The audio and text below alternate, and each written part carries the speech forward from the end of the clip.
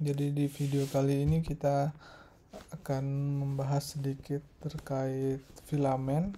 Filamen ini sendiri adalah salah satu admin builder yang ada di Laravel. Nah, kalau kita lihat di websitenya sendiri di elegan elegan tal kit for Laravel Artisan tal ini maksudnya Tailwind uh, Alpine.js, Laravel Livewire. Nah, dia membuat nah kita coba lihat uh, demonya admin panelnya. Jadi di filamen ini kita hanya mengurusi yang paling penting kita cukup tahu database-nya paham skema uh, database-nya dan bagaimana bisnis prosesnya sisanya biar tile uh, biar filamen yang mengerjakan CRUD dan lain-lainnya. Nah di sini contohnya ini jadi ada banyak sekali plugin-plugin yang bisa kita gunakan di filamen ini kayak seal uh, spatie media library terus breeze untuk loginnya dan lain-lain. Jadi di sini sudah banyak sekali disupport oleh berbagai macam plugin. Kita bisa pakai. Dan sudah ada juga discordnya untuk Laravel eh sorry untuk Tailwind. Jadi kita bisa nyari uh, berbagai macam dokumentasi di Discordnya. Nah, kita langsung saja. Di sini saya sudah sediakan boilerplate-nya. Untuk boilerplate uh, filamennya nanti saya uh, taruh di deskripsi untuk GitHub filamennya. Jadi di sini saya sudah bikin migrationnya untuk yang tabel dasarnya itu tabel usernya.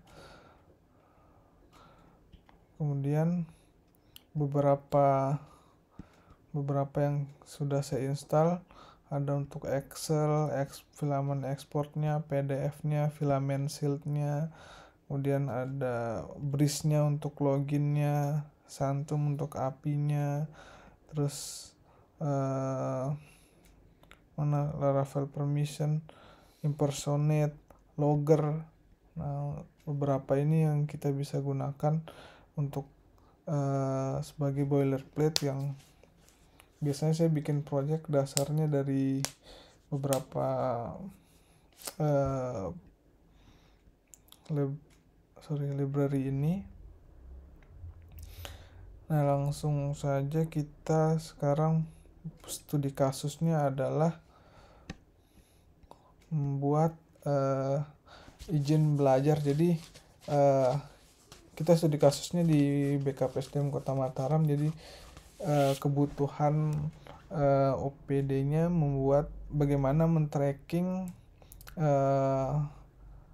pegawai-pegawai atau ASN yang um, tugas belaku, tugas belajar atau izin belajar. Jadi uh, nanti uh, eh, ASN ini login di sistemnya kemudian uh, mengisi ada tabel izin untuk uh, tanggal masuk universitasnya jurusannya di mana fakultasnya apa kemudian detailsnya setiap uh, setiap saat dia bisa buat uh, semacam details misalnya ketika dia sem selesai semester 1 dia mengupload uh, KHS-nya kah atau awal masuk semester masuk mengupload KRS-nya dan lain-lainnya. Ini ada empat tabel, ada tabel user, agent, details, dan OPD. Kita buat yang sederhana dulu, jadi eh, nanti saling OPD ini berelasi dengan user, kemudian user punya izin, kemudian izin punya banyak details, seperti itu. Nah langsung saja di sini kan saya sudah buat user berarti kita buat tabel OPD-nya dulu. Nah, di filamen ini uh, dokumentasinya sudah sangat lengkap ya. Kita bisa lihat di sini di admin panelnya karena kita butuhnya admin panelnya ya. kita buat dulu uh, eh, OPD-nya. PHP artisan make model OPD min M untuk membuat migrationnya sekalian. Oke, nah, di sini sudah terbuat string nama OPD. Oke, selesai. Kemudian kita buat sudah buat usernya. Kebetulan database nya masih kosong ya kita lihat dulu. Database nya di sini di YouTube. Nah ini masih kosong database nya kita migration dulu aja.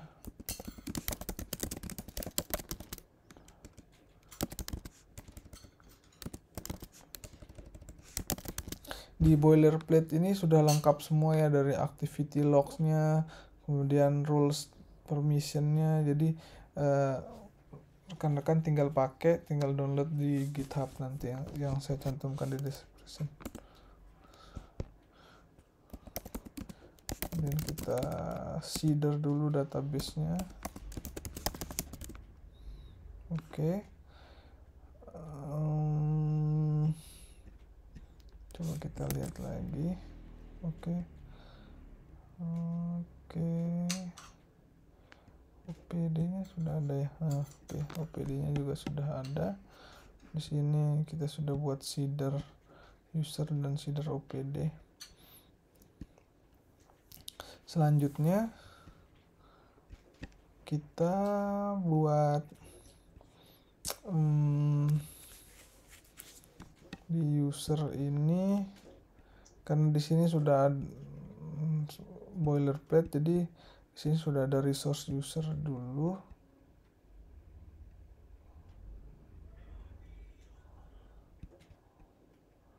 Nah kita bikin pergi ke model dulu.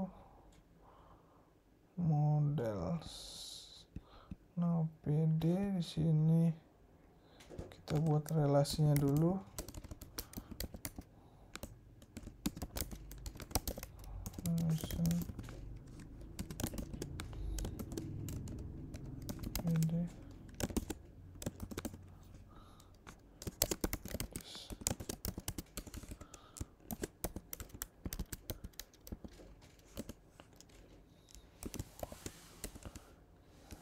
sorry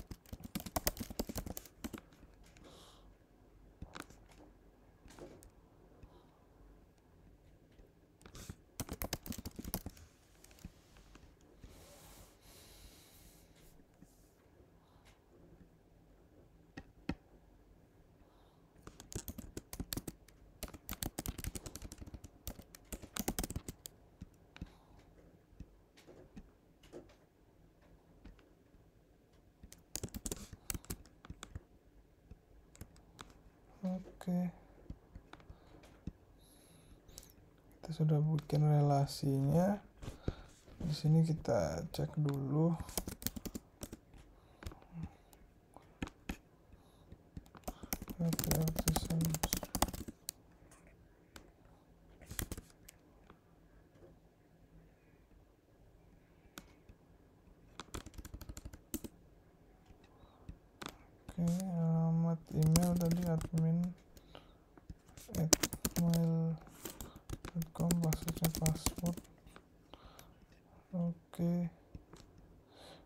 sini uh, kita lihat kita punya resource user ya. Tapi di menunya ini nggak ada muncul usernya berarti shieldnya belum terinstall. Yang kita lakukan berarti adalah PHP artisan. Kalau kita lihat di pluginnya filament plugin mana shield install shield nah di sini kita bisa cek.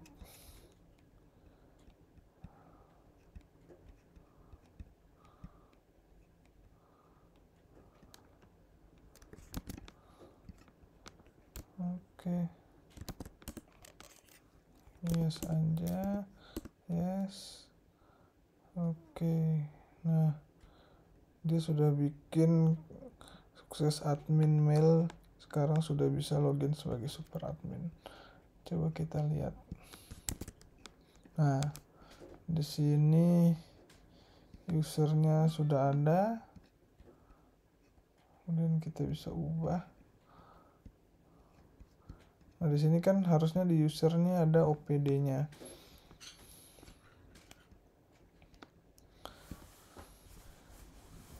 Kita kerjakan nanti aja OPD-nya. Sekarang kita bikin dulu migration-nya untuk tabel izin ya. PHP design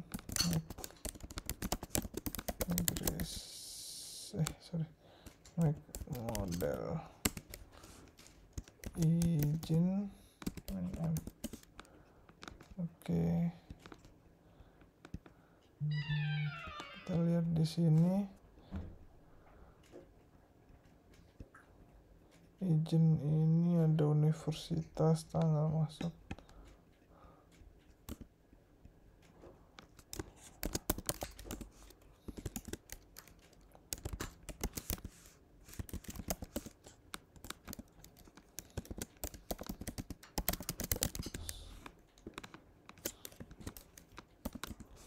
Universitas kemudian date masuk date tanggal lulus fakultas jurusan beasiswa eh sorry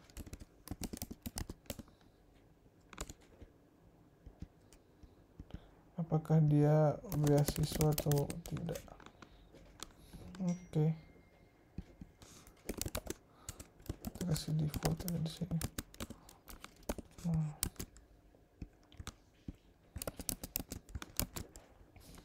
oke okay, sekarang kita migrate aja. Oh sorry sorry. Ada user ID di sini. Foreign key-nya kan user ID foreign ID eh sorry ID user underscore ID constraint hmm, oke okay. Sekarang tinggal kita migrate aja. Oke. Okay. coba kita lihat di database nya izin izin oke sudah ya. Nah sekarang setelah itu kita sudah bisa bikin ini kan kita hanya tahu struktur database nya sekarang kita bisa langsung bikin create nya create update delete nya caranya kita lihat dokumentasinya filament aja ya. Di sini di resource kemudian ada nah, PHP artisan.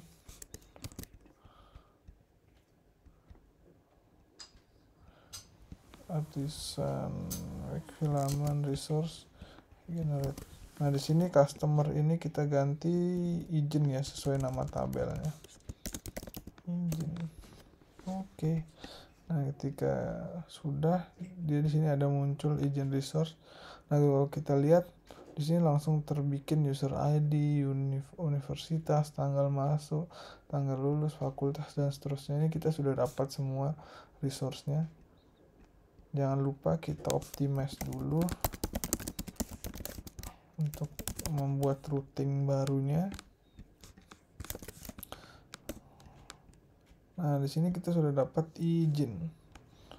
Di sini tabelnya masih kosong, kita coba buat ya user ID-nya misalnya satu kemudian universitasnya Mataram tanggal masuknya 1 Juli tanggal lulusnya 31 Juli Fakultas Teknik jurusan informatika oke beasiswanya true. Oke user ID oke di sini biasanya kalau errornya kayak gini artinya di modelnya kita butuh protected guarded engine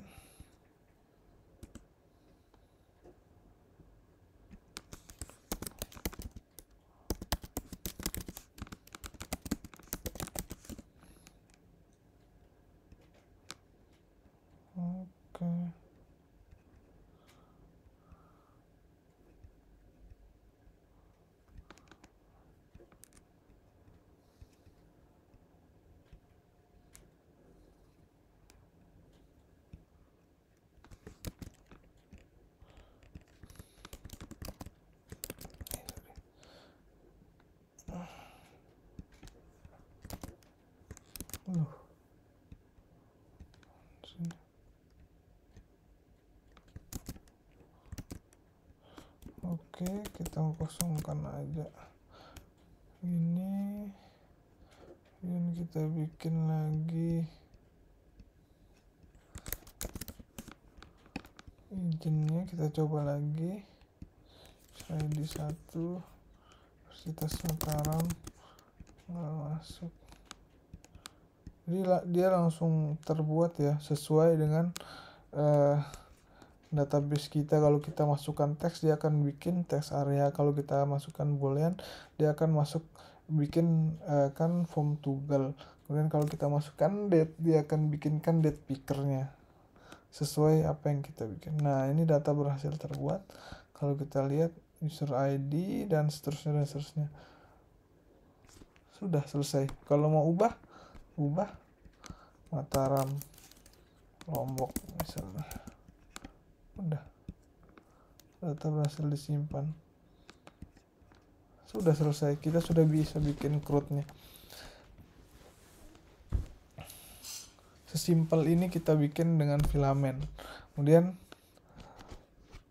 kemudian kita masuk ke di sini kalau kita lihat ketika kita buat di sini ada user ID yang harusnya ini otomatis terisi kalau apa jadi user ID ini kan sesuai dengan login loginnya si user kan bukan kita masukkan manual seperti ini. Nah di di filament ini kita bisa edit edit seperti ini. Kita coba mutate data before create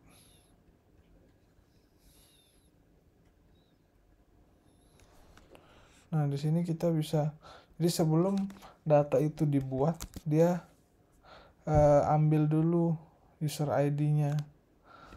Kita masukin aja langsung di agent resource, create agent. Oke. Okay.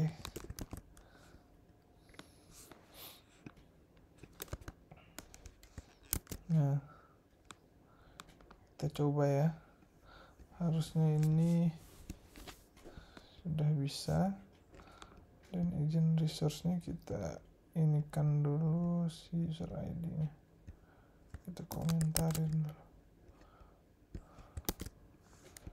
Tes Mataram tanggal masuk. 10 tanggal lulus 8 fakultas MIPA MTK nah berhasil dibuat. Kalau kita lihat user ID nya terisi otomatis berdasarkan uh, si login data login usernya ya. Jadi seharusnya memang tidak ada user ID di sini. Terus di sini kan kita dari izin ini kan berrelasi dengan user ya. Berarti kita bikin kita bikin ini di sini di izin ini kita bikin relasinya dulu. Public function user. Uh, return. This dot belong to user.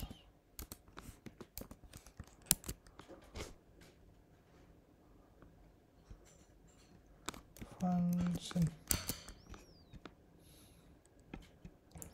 Nah, di sini di izin resource kita tinggal panggil begini user nama relasinya dot name.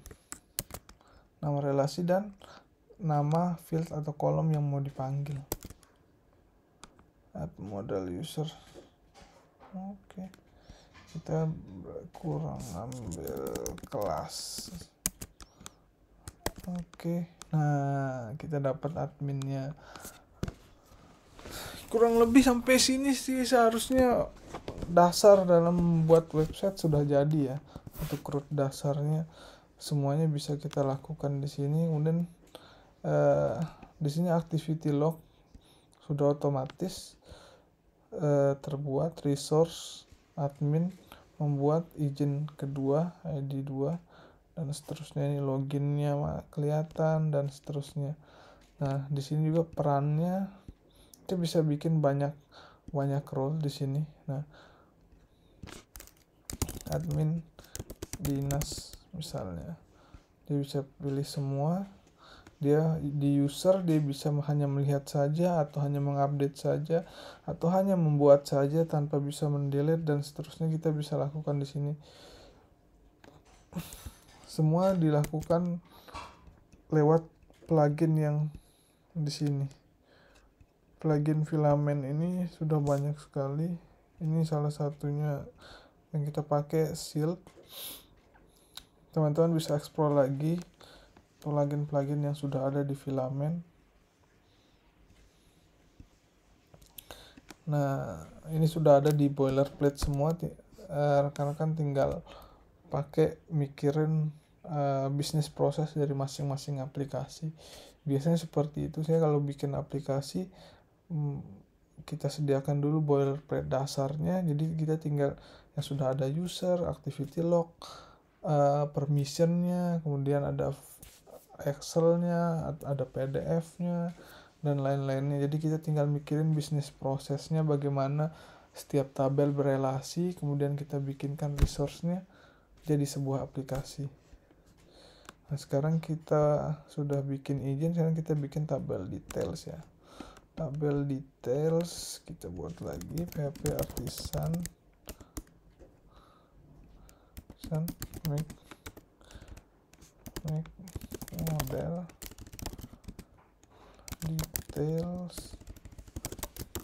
Detail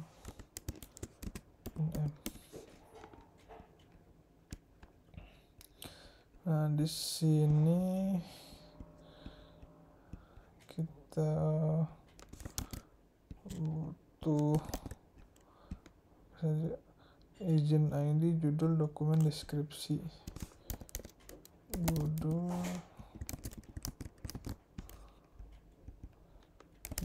deskripsi teks ya kemudian judul deskripsi dokumen. Eh sorry. Dokumen. Oke. okay sekarang.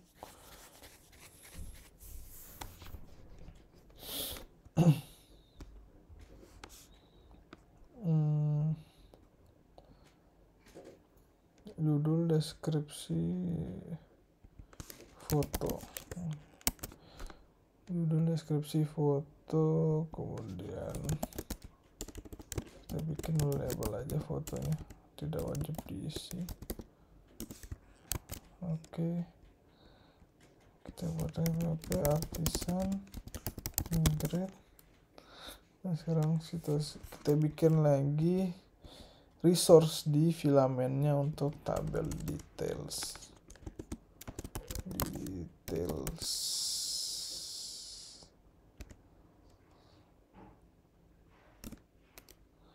Oke. Nah, kita lihat di sini. Nah seperti yang saya jelasin tadi kalau kita bikin tipe datanya teks dia akan otomatis membuat teks area. Kita tapi jangan lupa kita optimize dulu supaya routingnya terbuat. Nah di sini detail. Oke judul. Oh sorry. Kita kelupaan PHP artisan uh, kelupaan. Si izin ID nya add izin to tells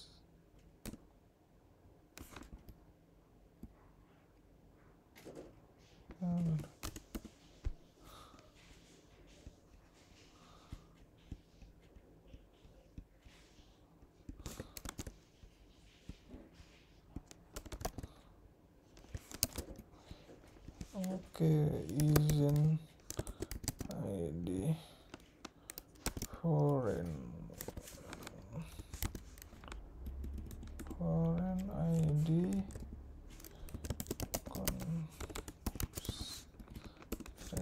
oke lagi.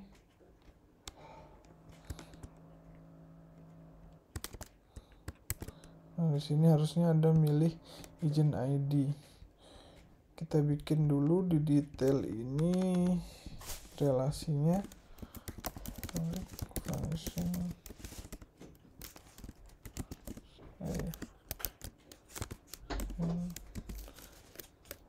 izin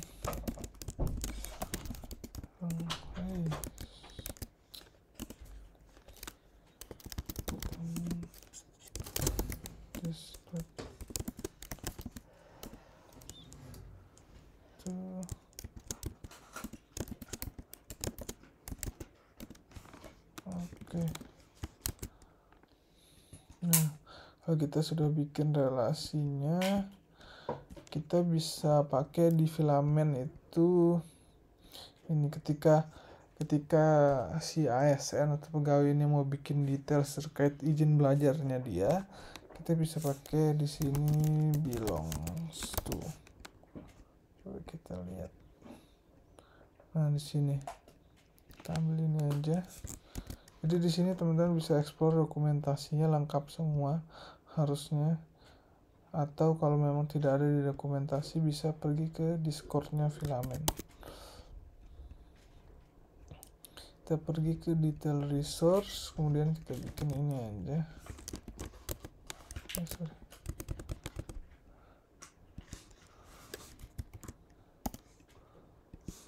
ini kita import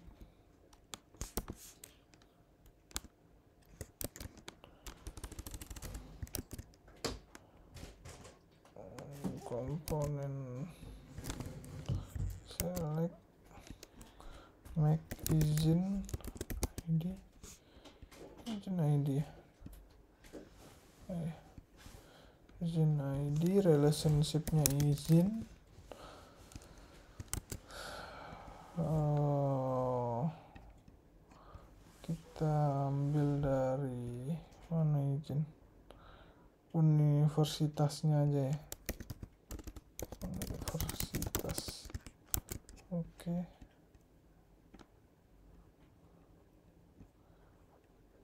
nah kalau sudah nah ini kan muncul izin yang pernah kita bikin di sini langsung muncul di sini. Misalnya izin dalam lombok ini dan deskripsinya. Nah kita mau pakai jangan pakai text area seperti ini kita mau pakai editor uh, dari plugin ya. Kita coba cari plugin editor yang ada di sini. Hmm. Ah tiny editor. Tiny editor. Tinggal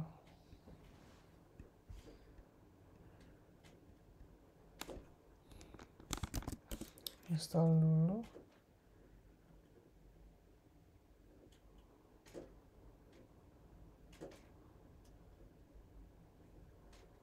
Oke. Okay. coba cari yang lain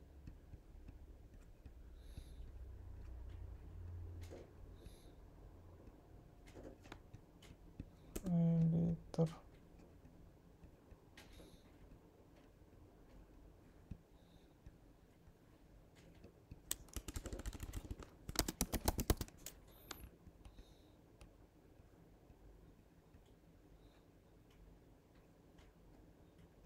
Mana yang bagus? Pati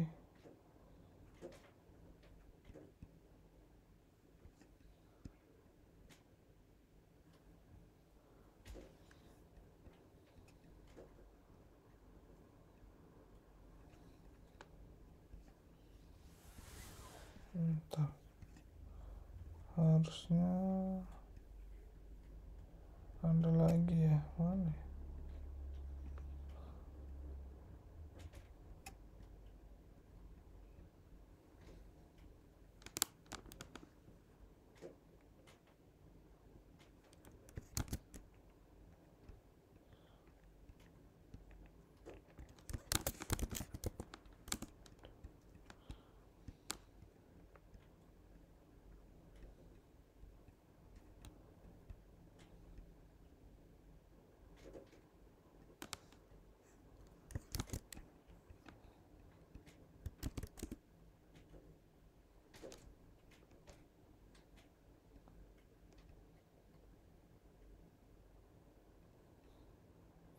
Sepertinya ada yang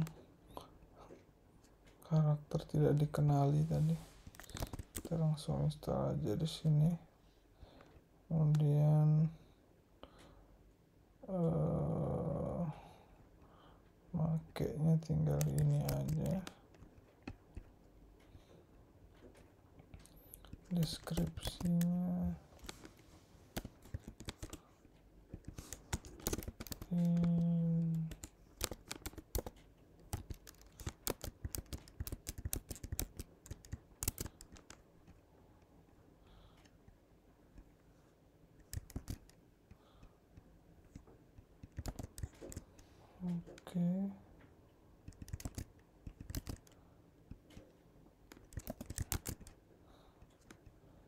Kita coba lagi.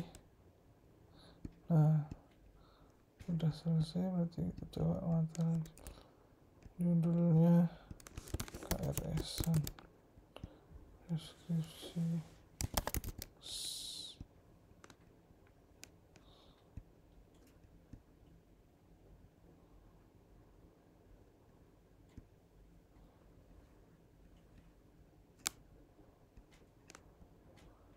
Coba aja di sini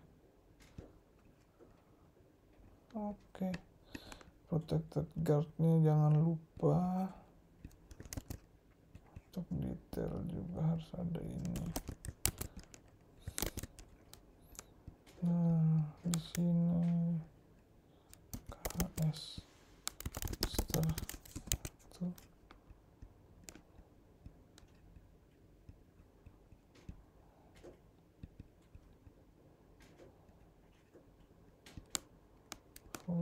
foto tidak usah apa-apa.